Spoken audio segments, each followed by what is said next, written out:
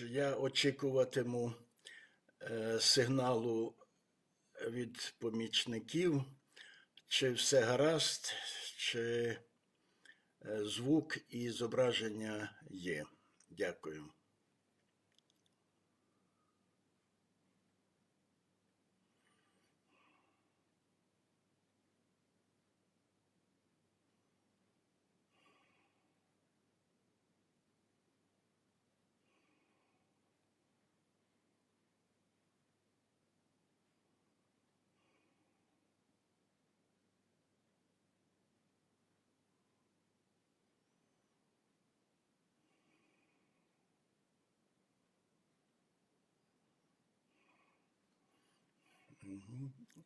Вітаю, вже перший коментар бачу. Зараз ще хвилина, і тоді я почну.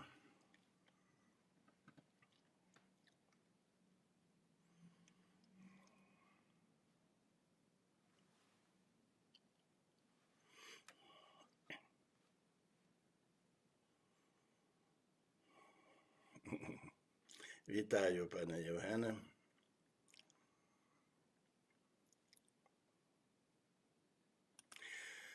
Так, шановне товариство, дозвольте розпочати. Вітаю всіх учасників.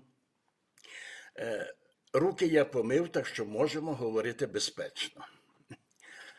Е, Нагадую вам, що ви можете ставити свої запитання в коментарях е, під відео, а я відповім на них наприкінці зустрічі.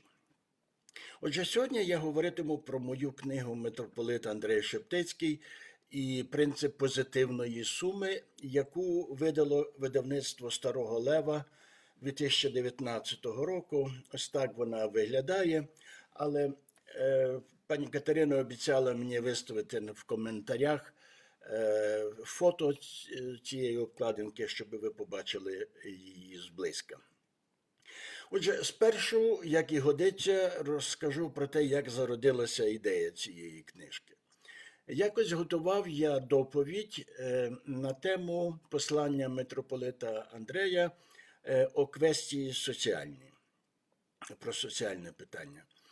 Е, і читаючи, я був просто вражений, як багато там цитат, які відповідають принципу позитивної суми або він-він. Це мене страшенно заінтригувало. Врешті-решт, я взявся за всі томи всі чотири томи е, послань митрополита Андрея. Е, і з'явився в мене ну, мільйон цитат. Стало зрозуміло, що треба щось з цим робити, тим більше, що на той час вже з'явилася в е, Українському католицькому університеті ідея попрацювати над творчістю митрополита Андрея з тим, щоби вилущити якісь важливі для нас е, моменти. І далі вже пішла справа техніки, врешті-решт з'явилася оця книга. Я дякую Богові, що вдалося написати її, бо митрополит був і залишається для мене ну, чи не найбільш моїм, найбільшим моїм відкриттям. Мене вражає, що він належить до української історії, однак ніяк не відходить в історію. Навпаки, в мене таке враження, що з плином часу він стає щораз актуальнішим. Я хочу вірити, що моя книга це проілюструвала. Е, але одна ремарка. Якби в митрополита Шептицького запитали, чому він дотримується принципу позитивної суми або він-він, він би дуже здивувався. Такого терміну він взагалі не знав. Він мислив богословськими категоріями. Е, я з цього почну, але не лякайтесь, богослов'я буде лише трошки е, небагато. Для прикладу, він багато говорив про те, як народ може поліпшити свій добробут. А що для нього було джерелом, як би ми сказали сьогодні, доданої вартості? Відповідь Христос. Чому? Бо в Євангелії від Матея Ісус сказав, де двоє або троє зібрані в моє ім'я, там я серед них. Тобто зіслана від Нього благодать і є джерелом доданої вартості. А чи має це якесь значення для нашого суспільно-політичного життя? Безпосереднє. Ось як у митрополита Андрея. А ще більше Він, Христос, є поміж тими, що спільними силами працюють для добра ближнього. Крапка. Отже, енергією прогресу кожного суспільства є здружена праця для добра ближнього. Чи ця формула є реалістичною для нас? Згадаймо лише Майдан і ту потужну енергію, яка линула від нього. Господь уже кілька разів відкривав перед нами, як перед ізраїльськими пророками, завісу майбутнього і казав: по-перше, ви можете бути такими об'єднаними. Yes, you can. Припускаю, Господь знає англійську мову. А по-друге, такими об'єднаними, об'єднаними ви зможете перемогти. А тоді завіса опускається. І ми знову поринаємо у своє занепадницьке невірство. А тепер кілька прикладів того, як Шептицький застосовував ту свою формулу успіху. Хронологічно першою була, як це не дивно, економічна сфера. На початку ХХ століття, як ви знаєте, буяли класові війни. Знищити буржуазію, експропріювати експропріаторів і все таке. Шептицький у цей час апелює до людей. І тут даю я три цитати. Капітал не обійдеться без праці, а праці потрібен капітал. Зі згоди і єдності, як у кожній справі, так і тут, випливають порядок і краса.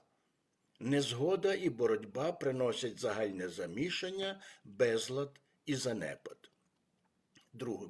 Віддати кожному те, що йому належиться, кожне його право пошанувати це підстава всякого ладу, до якого веде наука церкви. І третє. В ім'я Христової любові пригадуємо багатших, багатшим їхні обов'язки. В ім'я тієї любові захищаємо права убогих. З тієї ж любові не закриваємо перед убогими їхні обов'язки і шануємо права багатших. Але ж навіть сьогодні не один із українців скаже, ну, захищати права бідних це правильно, але захищати права багатих come on. Але історія вже, в принципі, дала відповідь на питання, хто правий. От скажіть мені, будь ласка, куди спрямовані ноги усіх біженців сьогодні? У ті країни, де перемогла ідея класової боротьби, чи у ті, де дійшло до порозуміння між працедавцями і робітниками? Відповідь очевидна. Ще одна сфера, в якій Андрей Шептицький застосовував оцей принцип позитивної суми, була сфера суспільних відносин, чи то між народами, чи то між різними групами одного е, народу. У митрополита Андрея є цілі розсипи цитат про небезпеку, яка йде від ненависті та ворожнечі. Навіть у своїй книзі я подав лише найголовніші з них. А якщо вилущити з тих цитат якусь формулу, е, то вона може звучати приблизно так. Я формулюю своїми словами. Основою добробуту держави є здружена праця задля добра ближнього. Тоді є додана вартість, тоді народне добро множиться. І навпаки, Розколена громада, яка схильна до внутрішньої ворожнечі, не лише не прирощує добробуту народу, а навпаки, марнує навіть те, що має. Ворожнеча це чорна діра, яка всмоктує суспільну енергію, спрямовує її на ворожнечу, а не на творення.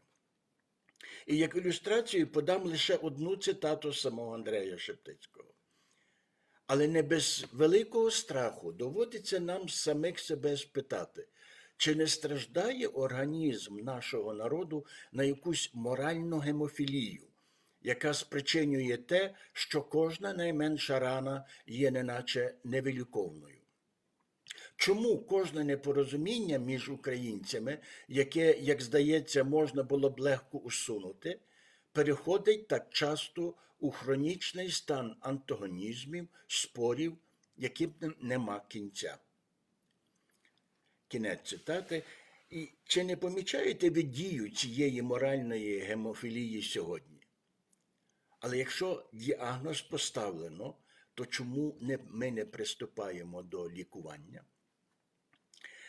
Е, якщо би мені треба було виділити з книги найголовніші цитати Шептицького, то я назвав би такі. І знову я не поради Шептицького, і я знову не цитую, а формулюю своїми словами.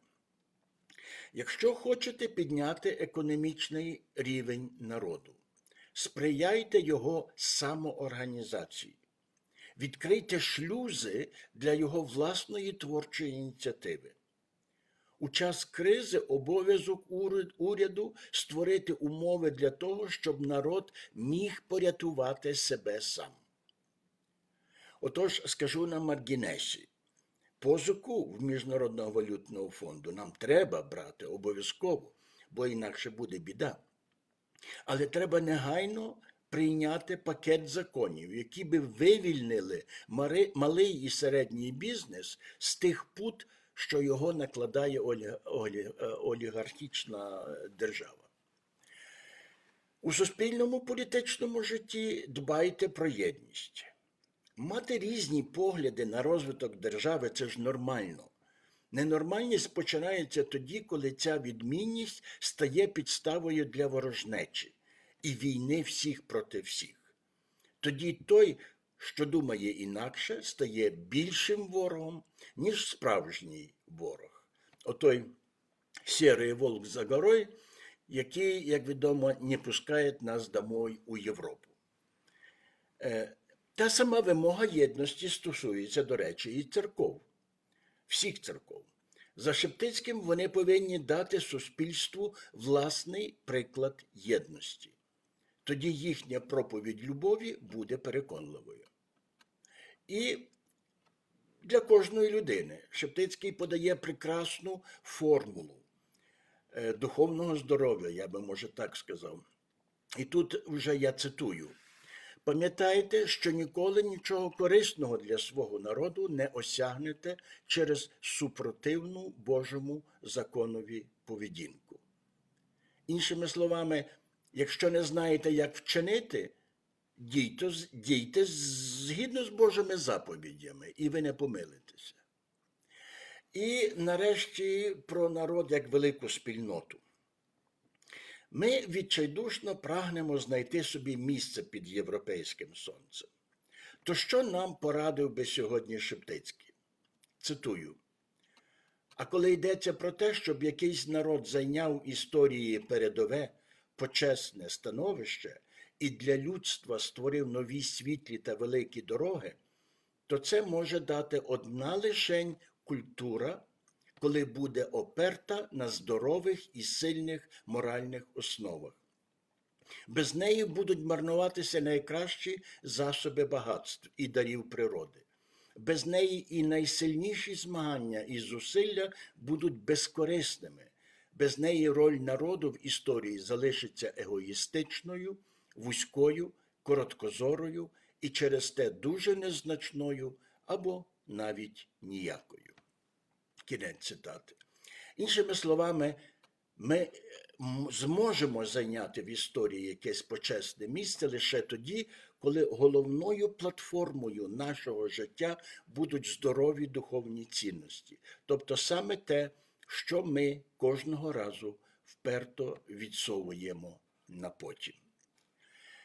Дякую. І тепер я хотів би перейти до запитань. Е, Сподіваюся, що вони десь є. Поки що я не бачу питань, можливо, хтось е, мені допоможе.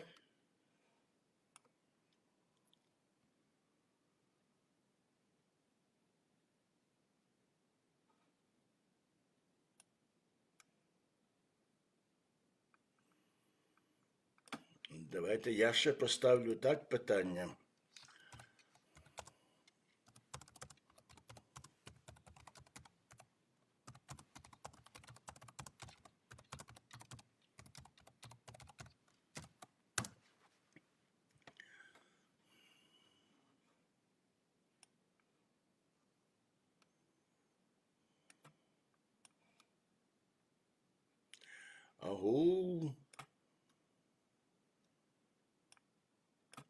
Дякую, ви всі вподобаєте, але поки що запитань немає. Добре. Дякую. Тоді я, в принципі, завершую е, трансляцію, завершую е, нашу, нашу зустріч. І якщо в разі у вас все-таки будуть е, якісь запитання пізніше, то напишіть, будь ласка, коменти.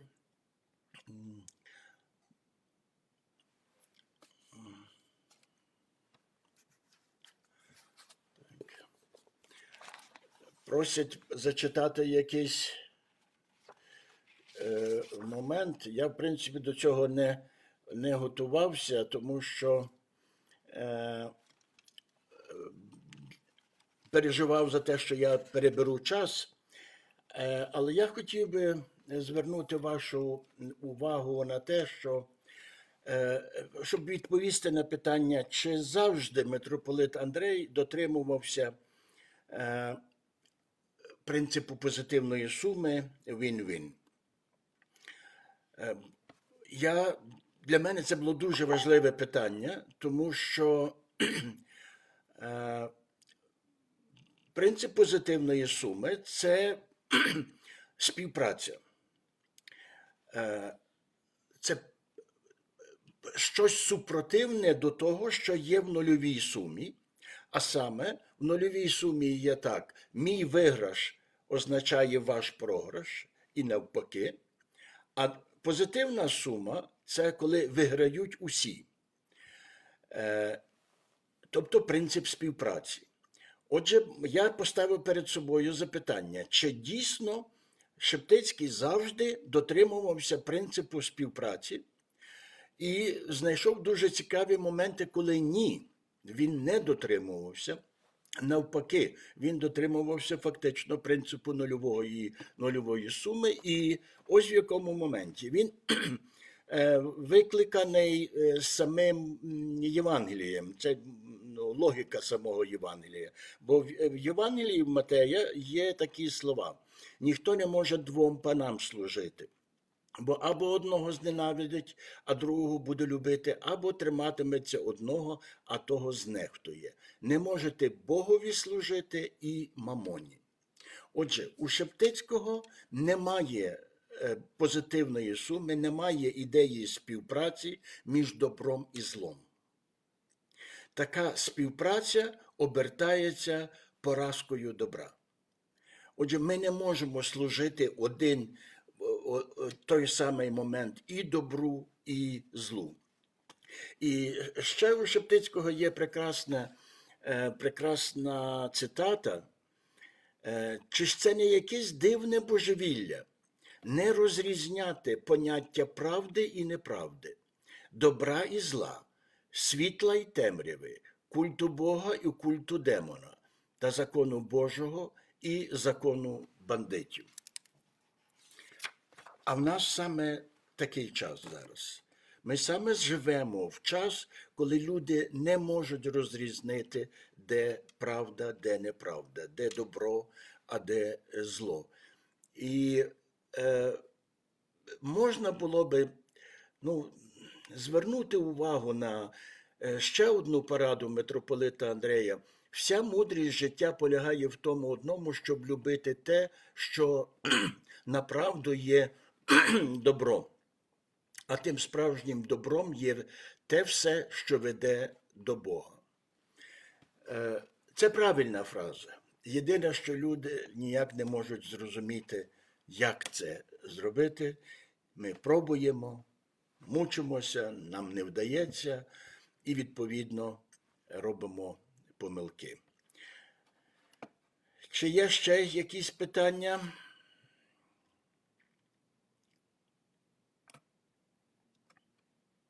Мабуть, ні. Тоді усім дякую за те, хто був на дроті. І дякую пана Євгена Дудка за те, що придбали книгу. Е, Це підключилася навіть Німеччина. От. Так, дякую всім. Я завершую трансляцію. Хай вам Бог помагає в усьому і бережіть себе. Ага, ще є. Е, Запитання е, Катерини Мурин. Який спосіб за Шептицьким міжконфесійних та міжрелігійних відносин? Е, Ці відносини важко давалися митрополиту Андрею на початку, оскільки, власне, тому що він дотримувався принципу, що треба захищати істину від облуди. Е, На початку життя йому видавалося, що є лише одна істина це вчення католицької церкви, а все інше є єресю. Він жив в такому світі на початку ХХ століття. Це було звичне, звичний спосіб думання. Але потім, коли читаєш його е, е, проповіді, його послання, відчуваєш, як міняється в нього його постава. Міняються взагалі обставини життя е, тогочасної Галичини. Е, Вона входить в контакт з іншими е, релігіями, з іншими конфесіями. І митрополит Андрей закінчує своє проповідництво одним дуже важливим таким моментом з свого листування з православними ієрархіями. А саме, що всім видавалося, що я, тобто митрополит Андрей, пропоную е, людям уніатизм. Але ж можна було думати про таке об'єднання, яке би не в результаті якого новоутворена церква не була би ні давньою греко-католицькою церквою, ні давньою православною е, церквою. Іншими словами, він почав наближатися до ідеї е, позитивної суми також і в е, міжконфесійних е, справах. Крім того, обстоюючи істину, він дуже, дуже чітко відкидав будь-яку ненависть. От що в нього було безапеляційно, це ненависть для митрополита Андрея є неприйнятною. Е, Тепер е, читаю ще, одну, ще одне питання. Дати свободу малому і середньому бізнесу це головний шлях до того, щоб люди змогли самі себе порятувати. Чи є й інші, не менш важливі? І яке місце в цьому порятунку має моральне виховання нації, та як це можна потрібно розвивати сьогодні? Значить, на початку ХХ століття митрополит Андрей у своєму посланні е, Оквестії соціальні про соціальне питання він оголосив фактично економічну акцію в Галичині тодішній. І він зробив щось надзвичайно важливе. Він за він підсилив ті тенденції, які вже були і до нього. Але і в результаті тої його економічної акції е, до, до Першої світової війни ем, Українська Галичина стала так званою кооперативною республікою. Що це означає? Це означає, що Шептицький запропонував кілька етапів, кілька, кілька моментів важливих для того, щоб підняти народ е, економічно. Передусім, це моральне виховання, це передусім духовне виховання людей, бо люди мають розуміти, де є добро, де є зло.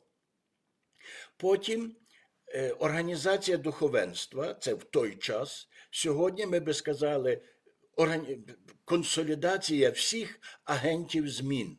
Вони мають об'єднатися, вони не мають ворогувати. Третє, е, самодостатність у фінансуванні, тобто е, Шептицький допоміг створенню банків. Тих банків, які е, е, мали за власників, за своїх, як там грамотно це називається, простих людей. Скільки хто міг, здавав у цей банк фактично самопомочі.